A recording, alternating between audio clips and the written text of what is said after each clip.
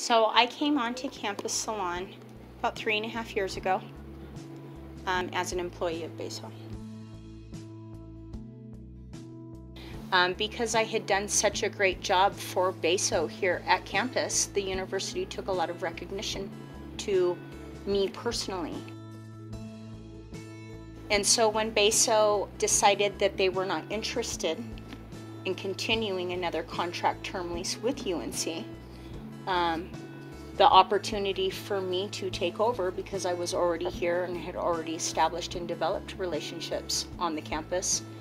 Uh, the university thought that it would be the smartest and wisest choice to just keep the person that was already invested. UNC is kind of like my Disneyland of Greeley, Colorado. You know what I'm saying?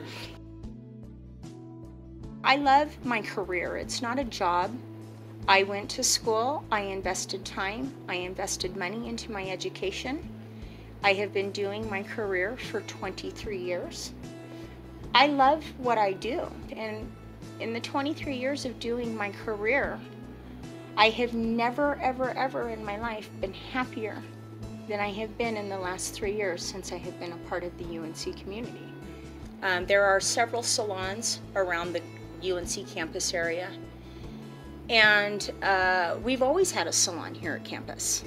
But I would say that during the time that I have been here, I would be lying if I didn't say I didn't feel like it was me.